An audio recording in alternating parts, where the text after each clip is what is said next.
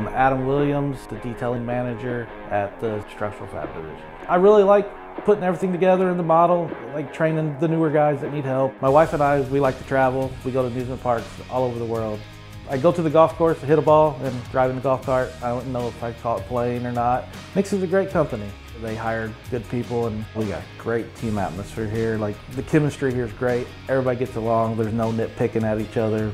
The guys in the shop are great. We got a great group of guys that work really hard and I've worked other places and never seen the amount of skill come out of those places that come out of here in a week. I like seeing the intricacy of how everything works together. Just seeing it from scratch, like, okay, this is where we're gonna start, and now the building's gonna go up, and then actually be able to drive by the building and be like, I had a hand in that.